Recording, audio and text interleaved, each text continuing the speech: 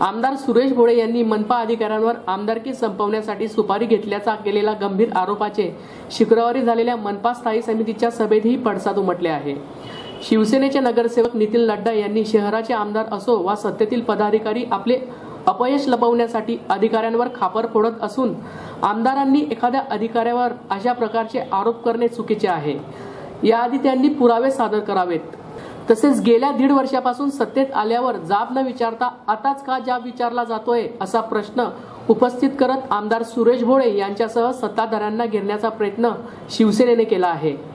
त्यावर सत्ताधाऱ्यांनी आमदारांची बाजू घेत आरोप फेटाळले आहे. यावेळी सेना भाजपाच्या सदस्यांमध्ये जोरदार खडाजंगी झाली. स्थायी समितीच्या सभेत विष्णू भंगाडे यांनी भाजपच्या दीड वर्षात एकही काम न झाल्याने सत्ताधारी नगरसेवकांकडूनच घरचा आहेर दिला जातो आहे. त्यावर घटनेते भगत बालानी व सुनील खडके हे आक्रमक झाले. दीड वर्षाचा हिशोब लावण्यापेक्षा आधीच्या चाळीस वर्षाच्या कार्यकाळात काय काम केले याबाबतची माहिती द्या. असा ज्या विचारला असता त्यावर भंगाडेही अधिक आक्रमक झाले. त्यामुळे सत्ताधारी व विरोधक पुन्हा भूतकाळ व वर्तमान काळातील उणेधुणे काढण्यातच राहिले. दरम्यान वाद काढत असताना सभापती ॲडव्होकेट सुचिता हाडा यांनी विरोधकांना शांत बसण्याचे आवाहन केले. त्यावर विष्णू भंगाडे यांनी तीव्र शब्दात नाराजी व्यक्त करीत विरोधकांना सभेत बोलू दिले जात नसल्याचे सांगितले. एकतर्फी कामकाज सध्या सभागृहात सुरू असल्याचं भंगाळ यांनी म्हटलं आहे.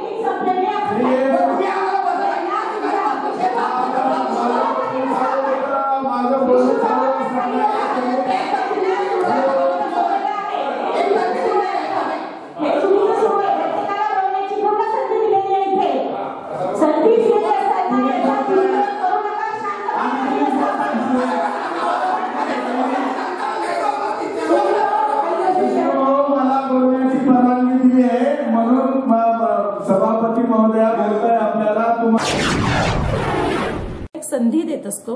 स्थायीमध्ये आपण एक नवीन पॅन्ट असा पाडलेला होता सभापती झाल्यापासून की प्रत्येक सदस्याला त्याच्या प्रभागातील कोणती जर समस्या असेल तर ती मांडण्याची संधी मिळाली पाहिजे. आणि त्या समस्येचा उहापोह होऊन त्या समस्येचं निराकरण झालं पाहिजे. तर या संधीचा काही सदस्य दुरुपयोग सुद्धा करताना आढळून आलेले आहे. याबद्दल सभापती म्हणून माझी खरं तर तीव्र नाराजी आहे. की ही संधी आपल्याला आपल्या प्रभागातलं काम मार्गी लावण्यासाठी दिलेली आहे. सभेला राजकीय आखाडा बनवून एकमेकांची उणधुणं काढणं आणि इथे एकमेकांवर शिंतोडे उडवणं हे सभेचा उद्देश निश्चितच नाही. आणि या प्रकारांना आळा बसला पाहिजे. म्हणजे मी जी संधी दिलेली आहे इथे किंवा ही आढावा घेण्याची जी पद्धत सुरू केलेली आहे तर असे प्रसंग झाल्यानंतर असं वाटतं की ही संधी देणं ही चूक झाली आहे का? कारण हा राजकीय मंच नाही. सभा ही आपण शहरातल्या कामकाजासाठी चालवत असतो. तर माझी सगळ्या सदस्यांना आपल्या माध्यमातून ही विनंती असणार आहे की इथून पुढे कोणीही असा संधीचा दुरुपयोग करू नये. अन्यथा मला हे आढावा घेण्याचं काम थांबावं लागेल की फक्त अजेंड्यावरच्या विषयांवर चर्चा होईल आणि सभा संपेल अशा पद्धतीने इथून पुढे मग निश्चितपणे हे सत्ताधाऱ्यांचे सगळ्यात मोठं अपयश आहे. की योग्य समन्वय आणि योग्य नियोजन नसल्या कारणाने वड्याचं तेल वांग्यावर टाकावं अशा पद्धतीची ही भूमिका होती. सन्माननीय आमदार या जळगाव शहराचे आमदार आहेत त्यांचा सन्मान आम्हीही करतो. परंतु अशा पद्धतीने कुठल्या अधिकाऱ्यांवरती आरोप करताना त्याच्या संदर्भातले जर कधी आपल्याकडे पुरावे असतील तर निश्चितपणे सोळा महिने त्यांच्या सुविद्य पत्नी या शहराच्या महापौर होत्या जो काही जर कधी अक्षरपाह संगनमत त्यांच्या संदर्भातलं जर कधी असतं मक्तेदारांसोबतचं तर त्याच्या संदर्भात त्यांनी कार्यवाही करणं अपेक्षित होतं. आणि अशा पद्धतीने जर कधी कुठलेही पुरावे नसताना बेछूट आरोप कुठल्या अधिकाऱ्यांवरती करत असाल तर ही निश्चितपणे या बाब निंदनीय आहे. सुनील भोये सारखा अधिकारी आज आम्ही गेल्या पंचवीस वर्षापासून पाहतोय. पंचवीस वर्षापासून आम्ही नगरपालिकेपासून आता महानगरपालिकेपर्यंत. अत्यंत प्रामाणिकपणे काम करणारा कर्तव्यदक्ष अधिकारी आहे. प्रत्येक कार्याची पद्धत त्यांची सकारात्मक आहे. अशा पद्धतीने अधिकाऱ्यांचं मनोबल खच्चीकरण करण्याच्या दृष्टिकोनातनं कुठलं वक्तव्य होत असेल तर निश्चितपणे मी म्हणतो की या संदर्भातला सगळा परिणाम जो आहे या शहरातील विकास कामांवर भविष्यात जाणवेल. कारण अधिकाऱ्यांचं मनोबल खच्चीकरण करून तुम्ही योग्य पद्धतीचं समन्वय न साधता या शहराचा विकास पुढे नेता येऊ शकत नाही.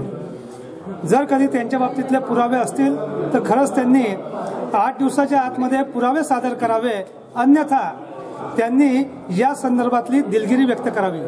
Hello guys please like comment and subscribe our channel